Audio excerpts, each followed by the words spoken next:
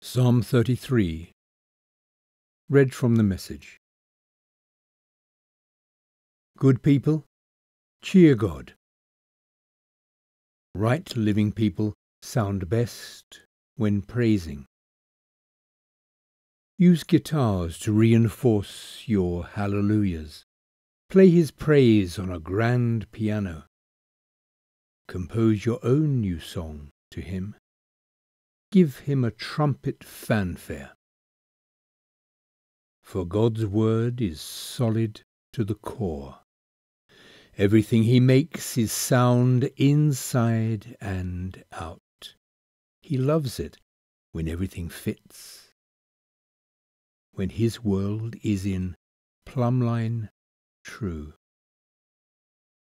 Earth is drenched in God's affectionate satisfaction. The skies were made by God's command. He breathed the word, and the stars popped out. He scooped the sea into his jug, put ocean in his keg. Earth creatures, bow before God.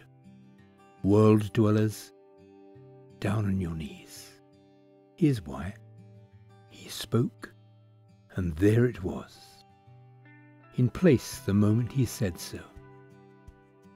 God takes the wind out of Babel pretense. He shoots down the world's power schemes. God's plan for the world stands up. All his designs are made to last.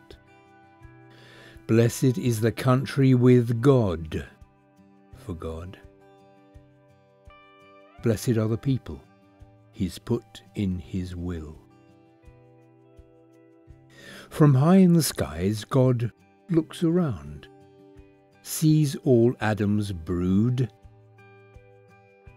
From where he sits, he overlooks all us earth dwellers.